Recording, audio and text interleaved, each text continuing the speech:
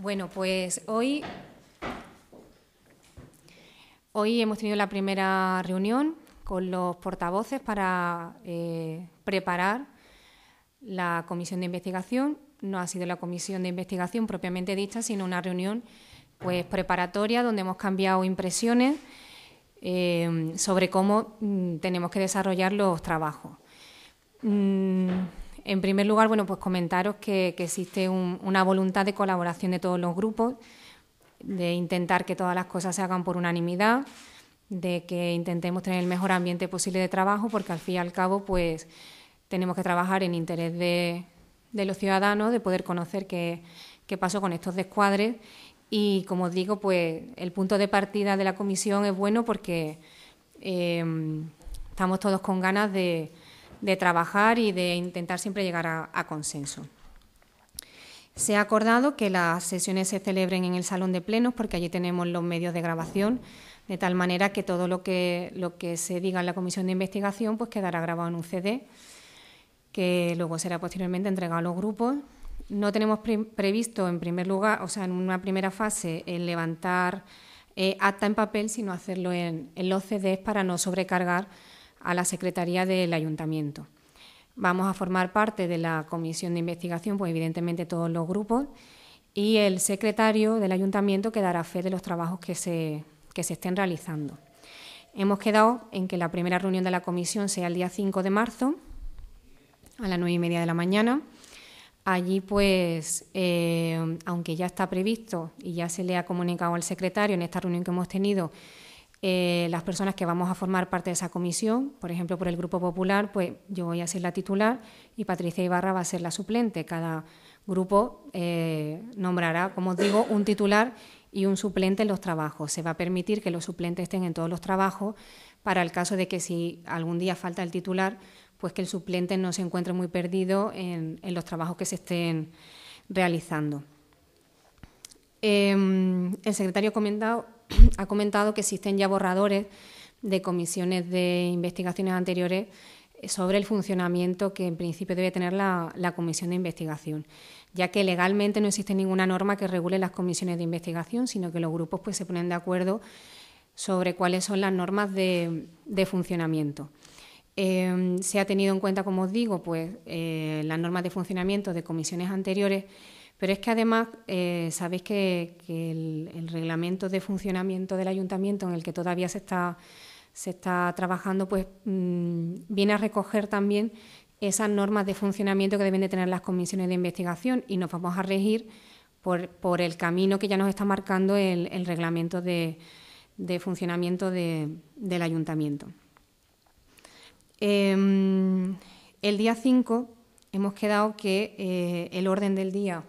que debe tener la, reunión pues será, en primer lugar, aprobar los miembros de la comisión, como os he dicho, el, titular y el suplente, aunque ya se ha, comunicado al secretario cuáles van a ser, pero serán aprobados formalmente en esa primera reunión de la comisión. Ahí habrá que decidir también quién va a ser el, titular, o sea, el presidente de la comisión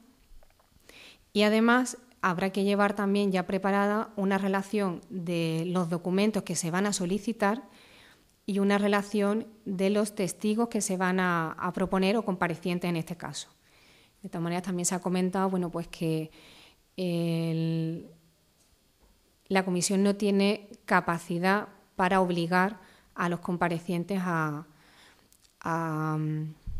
venir a declarar, a comparecer, aunque eh, una vez finalizada esta sí que se puede hacer eh, un reproche público de aquellos que hayan sido eh, llamados y no hayan intervenido en la, en la comisión. Será obligación de los miembros de la comisión el guardar silencio sobre los trabajos que se hayan realizado hasta que se presenten las conclusiones en el, en el Pleno y que, y que sean votadas pues, las conclusiones de los trabajos, si existen obligaciones para el ayuntamiento a posteriori de esa, de esa comisión que queden eh, trabajos por realizar para, para poner en marcha digamos, las consecuencias o las conclusiones de la,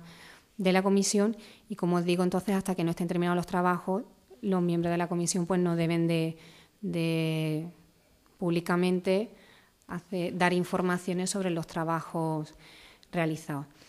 Creemos que más o menos todos los grupos nos vamos a poner de acuerdo sobre las personas que tengan que testificar o que comparecer, porque bueno, pues ya hemos ido comentando pues que queremos llamar al tesorero que en el año 2001 junto al interventor realizó esos primeros trabajos. Yo creo que es fundamental el oír a este técnico que, puso en marcha todos los trabajos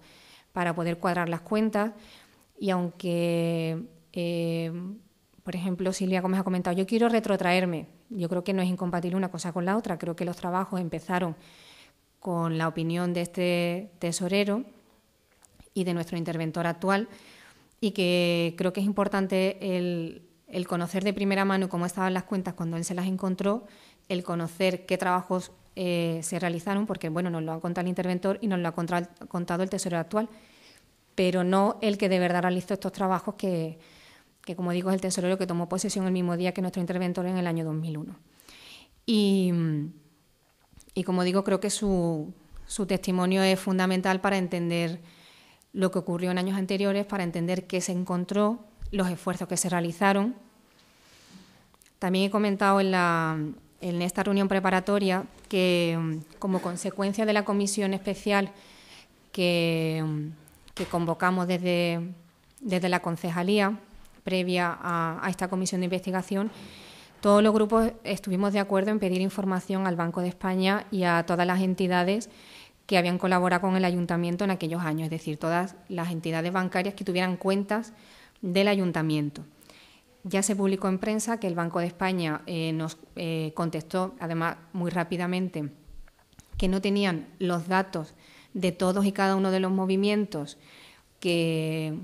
que existían en la en las cuentas del ayuntamiento y que lo único que tenían eran lo que se denomina posiciones de riesgo, es decir, que pues, las pólizas que tenemos contratado, el nivel de endeudamiento del ayuntamiento, etcétera. Por lo tanto, bueno, pues el Banco de España realmente ya ha contestado que no puede darnos mayor auxilio del que se dio en su día. Y respecto de las entidades, pues en esa comisión especial de, Hacienda que tuvimos, también todos los grupos nos pusimos de acuerdo en que teníamos que hacer un último intento de recuperar información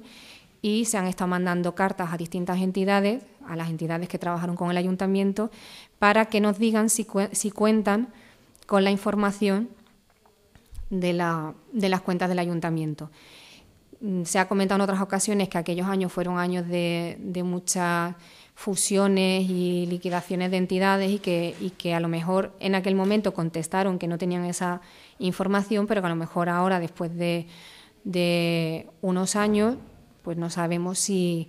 han podido ellos también poner orden en sus archivos y si, y si podrían contar con una información que en aquel momento pues algunas entidades evidentemente dieron y se realizaron los trabajos y otras pues dijeron que no la podían aportar. Entonces se ha comentado que todos esos trabajos que se han estado haciendo desde que el interventor en las cuentas anuales hace referencia a este millón doscientos, pues todos los trabajos que desde el equipo de gobierno se han ido realizando se van a traer a la comisión de investigación para que, formen parte de los trabajos y, de la documentación que hay que tener en cuenta pues, para realizar los trabajos. Ya si tenéis alguna pregunta.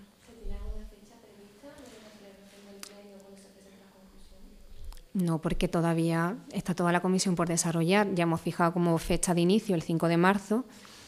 eh, ahí veremos lo que aportan los grupos, si son muchas las comparecencias que se piden, si la relación de documentación mm, consta eh, a día de hoy ya preparada en el ayuntamiento, porque en la comisión que tuvimos especial de,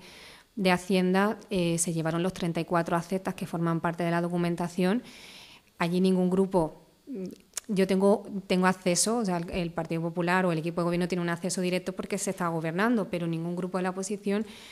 eh, tocó nada de la documentación. Entonces, bueno, toda esa documentación se va a volver a traer, esa documentación está preparada. Desconocemos si por parte de algún grupo se va a pedir una documentación adicional a la que está ya preparada. Entonces, veremos también si las listas de comparecientes son muy amplias o no.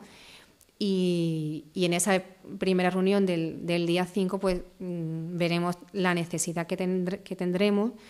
de tener reuniones pues mm, todas las semanas o de realizarlas mm, todas seguidas conjuntamente o cada 15 días, También tendremos que empezar a citar a los comparecientes, veremos quién quiere venir, mm, quién no acude. Si alguien a lo mejor no quiere acudir, intentaremos hacer gestiones para, para convencerle de,